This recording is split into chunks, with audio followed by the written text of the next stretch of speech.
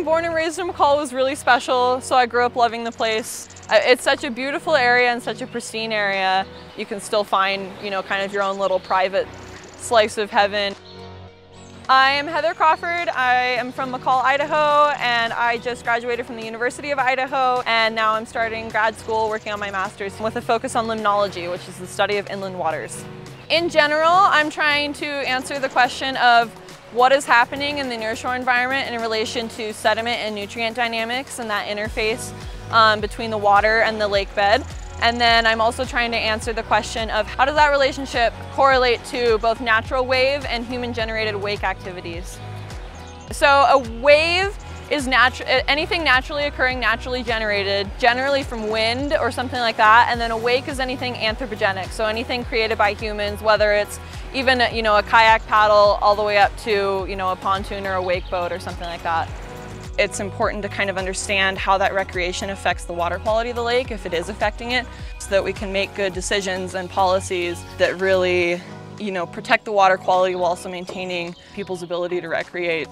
What our hope is and what our belief is, is that with an, this study and other studies, that the scientific community can come up with decision-making models, decision-making processes, decision-making information that can be used in a wide variety of water-based uh, orients. So even though the study is being done here at Payette Lake, uh, it can be used by our commissioners in Cascade Lake, Warm Lake, Payette Lake. It can be used on other northwest bodies of water uh, as well as throughout the nation. So we are raising the funds, both public and private, in order for them to complete their two-year study. So I'm using LIDAR, um, which is a terrestrial laser scanner, and that measures shoreline erosion or changes in the shoreline um, on a sub-centimeter level. Um, I'm using automated samplers and also myself to collect samples just of the water to go back and analyze in the lab for nitrogen, phosphorus, chlorophyll A, uh, turbidity, things like that. I'm providing the Big Payette Lake Water Quality Council with uh, some science, some numbers, data um, of what's happening in the nearshore environment of the lake.